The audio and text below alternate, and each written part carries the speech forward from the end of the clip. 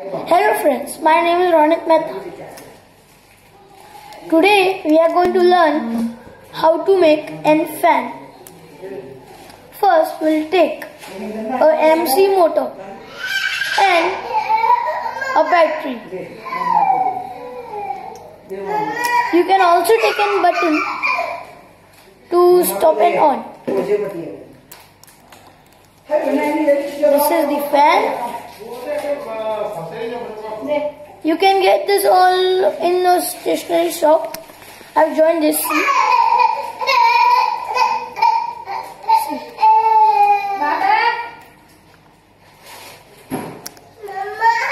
You can join it with uh, Fevistik and Fev- the glue gun also.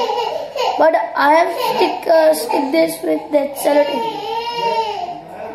Here an error. Sorry.